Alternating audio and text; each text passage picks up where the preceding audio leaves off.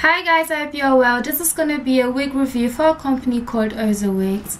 I've previously done a wig review for this company, which I'll link down below in case you haven't watched it. And yes, yeah, so I'm just going to show you a quick clip of what was in the box when I first received the wig.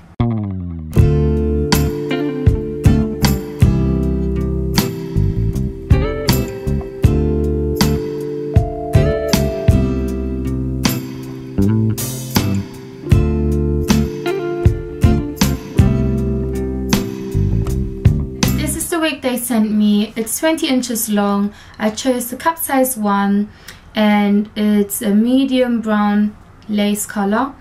And this is silky. This this hair is silky. So non yaki. Blue ombre which fades into gray as you can see. I chose the color same as the picture. So yeah this is the wig. The hair feels really really nice. It feels a bit it doesn't feel too silky basically. And when I styled the hair I did receive a, a bit of shedding so there is minimum shedding with this wig. I haven't received any tangling yet.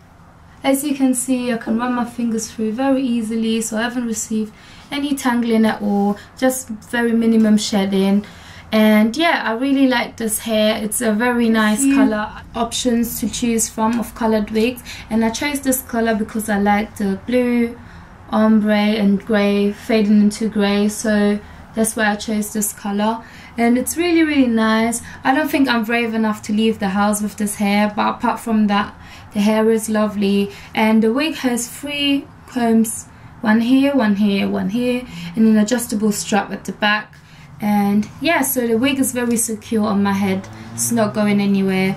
And yeah I really would recommend OzoWigs if you're into colored hair. They do a really good job with coloring hair. So yeah I would definitely recommend buying from OzoWigs show you how long the hair is. So as I said this is 20 inches long so yeah, I would definitely recommend OzoWigs if you're into colored hair. Their hair is really really nice and has a nice oh, I definitely recommend you check out their website. And yeah, thank you so much for watching. I'll see you in my next video. Bye guys.